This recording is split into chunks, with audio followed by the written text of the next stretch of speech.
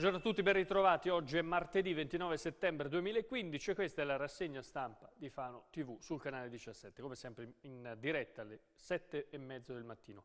Allora, sono ehm, 13 gradi, 14 gradi la temperatura fuori, c'era un bellissimo arcobaleno fino a qualche istante fa, ma mi pare che ormai l'abbiamo perso, volevo farvelo vedere eh, in qualche telecamera, questa è quella in diretta eh, che, che, che, punta sulla, su Porta Maggiore, vedete c'è un timidissimo sole che si contrasta con le nuvole eh, che quindi crea quel cielo nero nero, ma siccome c'è ancora qualche gocciolina eh, d'acqua, di, di pioggia in cielo, con il sole ovviamente crea l'arcobaleno ed era un bellissimo arcobaleno fino a qualche tempo, fino a qualche minuto fa. Vediamo l'altra invece immagine, no anche qua non ce l'abbiamo, altrimenti nasceva proprio qua e terminava nel nostro caso, eh, poi ognuno a seconda di dove lo vede.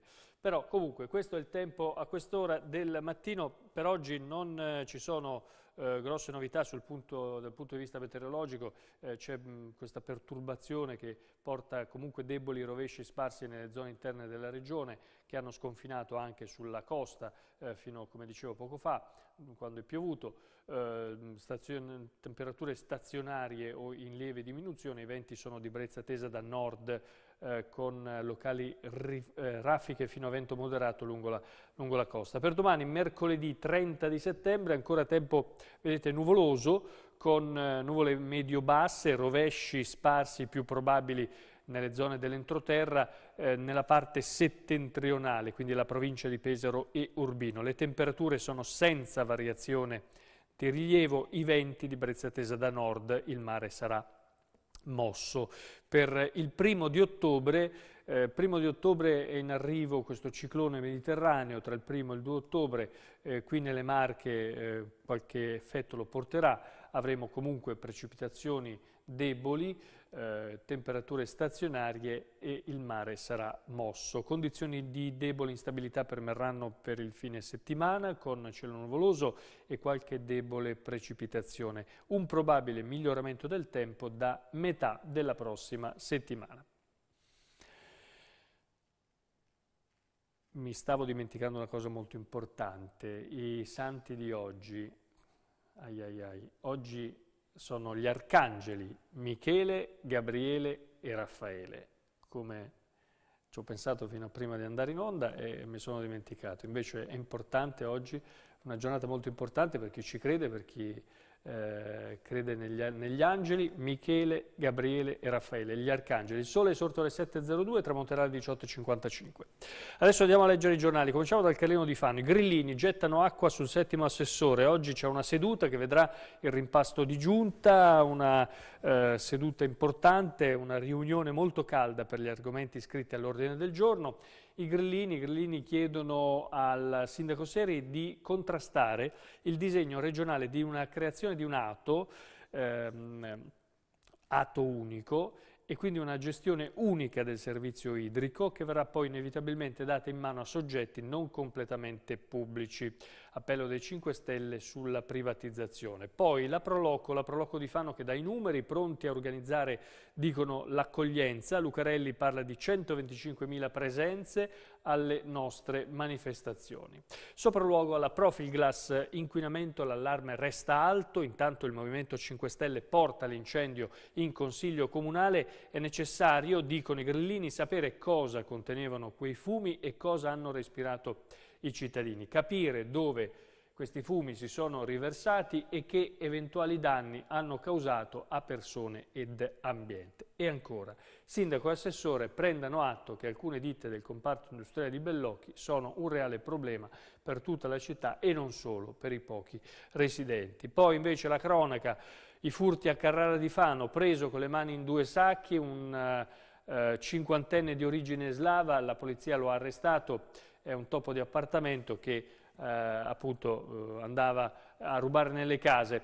Invece famiglia esasperata, eh, isolati ogni volta che piove, dicono eh, a Serrungarina una situazione paradossale, sono disperati, dicono i residenti, non sappiamo più a chi rivolgerci, la viabilità avrebbe bisogno della manutenzione che gli enti eh, si rimpallano.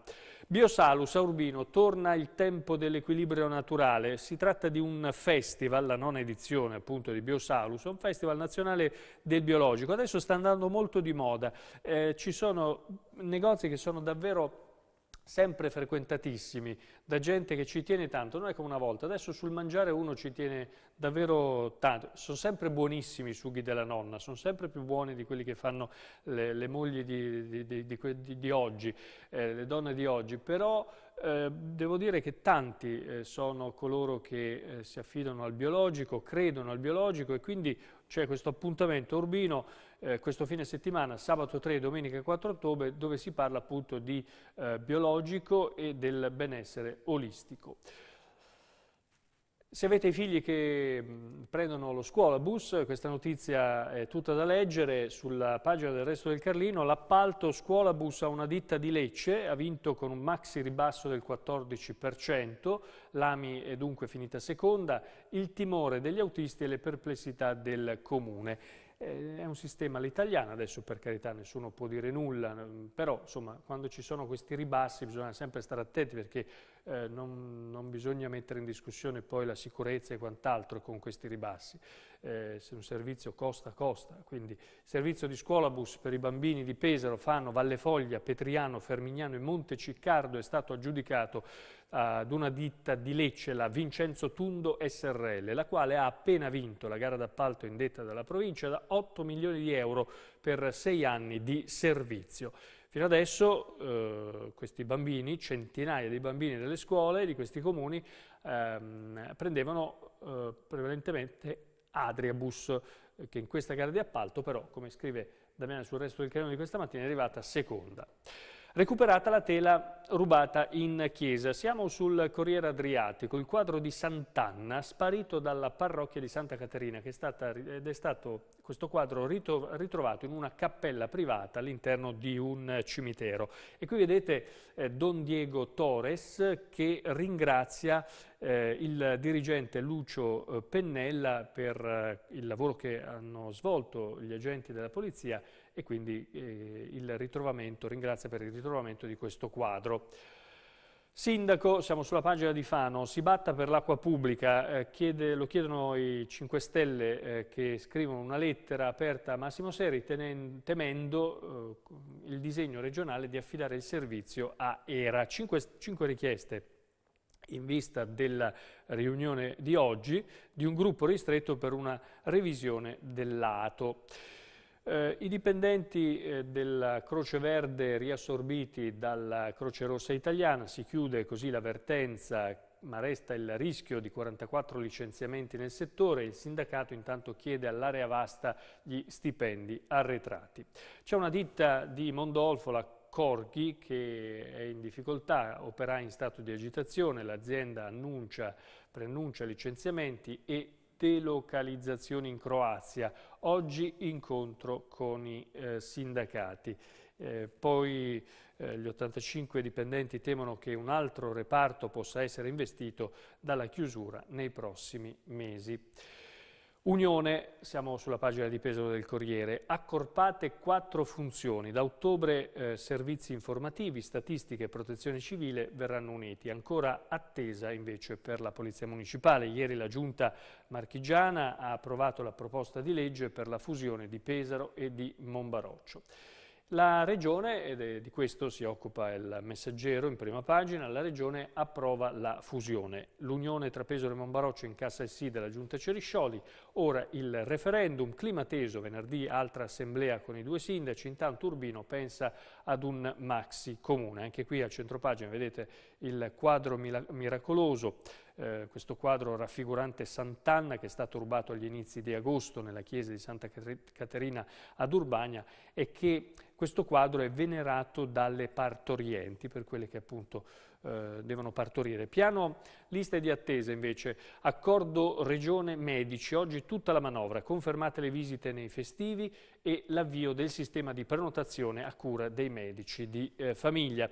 Ceriscioli ieri ha voluto eh, riapriamo la pagina, Ceriscioli, no, l'altra pagina, questa è sparita completamente, eh, è sparita, che devo fare? È sparita. Eh, vabbè. Andiamo sull'altra pagina di, di, Pesaro del Messaggero, la regione dice sì a Pesaroccio, la giunta vota la proposta di legge per unire Monbaroccio a Pesaro, il governatore Ceriscioli dice questo è il cambiamento, referendum, il referendum si terrà tra due mesi. Venerdì il sindaco Ricci e il collega di Monbaroccio Vichi si eh, preparano ad affrontare i monbaroccesi in un'assemblea che si annuncia ad alta tensione, quindi venerdì eh, sera. L'obiettivo resta lo svincolamento dei fondi ancorati al patto di stabilità, ma il Viminale potrebbe opporsi e dunque insomma attenzione, bisogna fare attenzione su questa cosa perché sono aumentate droga, rapine e violenze sui minori, sono parole del giudice Cormio che lascia eh, dopo 40 anni, non ho mai voluto fare il PM, dice e mi interessa più la famiglia che la carriera. Dal primo di ottobre dice andrò a funghi e mi dedicherò alla mia passione da sub come istruttore. Ancora, ehm, non solo Tavoleto, eh, in cantiere c'è un maxi comune da 23.000 abitanti, Urbino ha avviato contatti anche con Auditore, Montecalvo e Pedriano, ma Fabrizioli eh, frena. Chiudiamo con la pagina di Fano del Messaggero, dal nuoto al calcio, lo sport fanese ha fame di nuovi impianti, per l'assessore Caterina Del Bianco le due strutture sono ritenute una priorità, il palatenda del centro tennis non basta più, a soddisfare le esigenze. La crescente popolarità del calcetto chiede una sede adeguata, il Comune convoca le società per trovare una soluzione condivisa.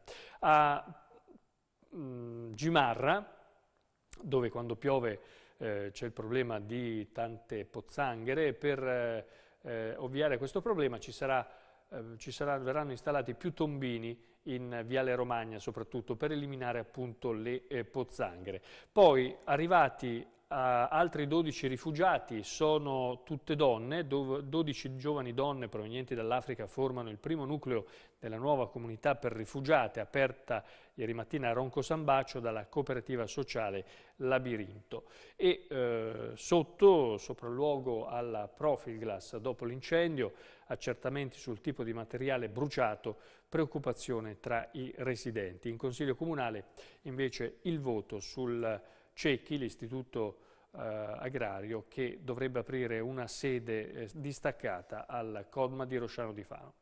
Ed è tutto per la rassegna stampa di oggi, vi ringrazio per averci seguito, vi auguro una buona giornata e vi ricordo che questa sera alle 20.30 c'è il telegiornale, occhio alla notizia, arrivederci.